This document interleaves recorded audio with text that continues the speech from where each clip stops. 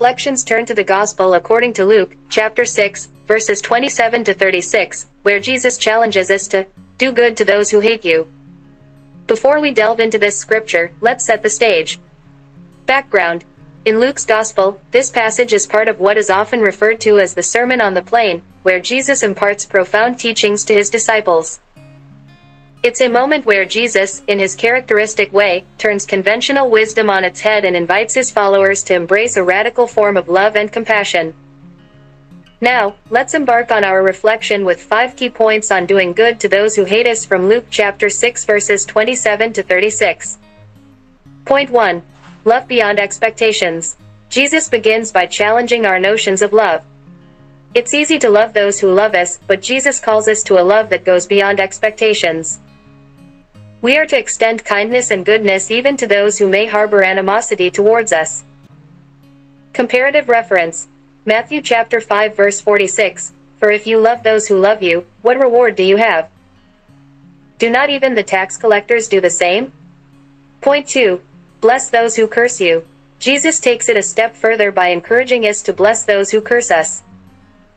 It's a radical notion, challenging the natural inclination to retaliate or hold grudges. Blessing those who curse us is a tangible expression of the transformative power of love. Comparative reference. Romans chapter 12 verse 14. Bless those who persecute you, bless and do not curse them. Point 3. Turn the other cheek. The famous instruction to turn the other cheek is not a call to passivity but a challenge to break the cycle of violence and hatred. It's an invitation to respond to hostility with nonviolent resistance and a desire for reconciliation. Comparative reference. Matthew chapter 5 verse 39, But I say to you, do not resist the one who is evil. But if anyone slaps you on the right cheek, turn to him the other also. Point 4. Be merciful as your Father is merciful. Central to this teaching is the call to be merciful. In imitating God's mercy, we become instruments of His grace. Our mercy is not limited to those who deserve it but extends even to those who may seem unworthy. Comparative reference.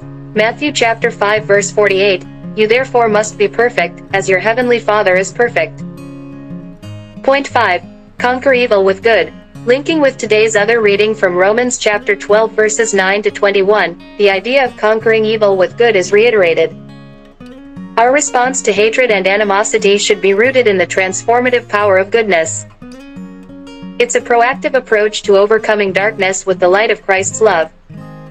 Quotes from Saints, Catechism, Teachings of Pope Francis, Street. Francis of Assisi beautifully captures the essence of this teaching, saying, Lord, make me an instrument of your peace. Where there is hatred, let me sow love. The Catechism of the Catholic Church echoes Jesus' call to love our enemies, stating, This commandment of Jesus is the supreme law of perfection.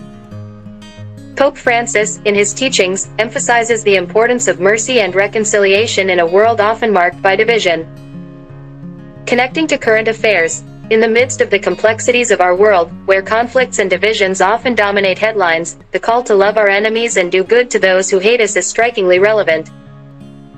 In a society where revenge and retribution are often seen as justified responses, the gospel challenges us to embody a countercultural love that seeks reconciliation.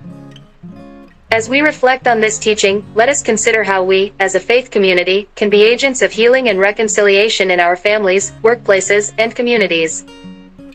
In a world that often thirsts for justice through retaliation, may our response be a testament to the transformative power of Christ's love. In conclusion, may the words of Jesus in Luke chapter 6 verses 27 to 36 inspire us to live out the radical love he calls us to, especially in this season of the Annunciation.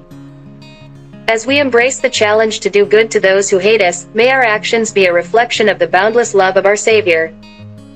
Amen.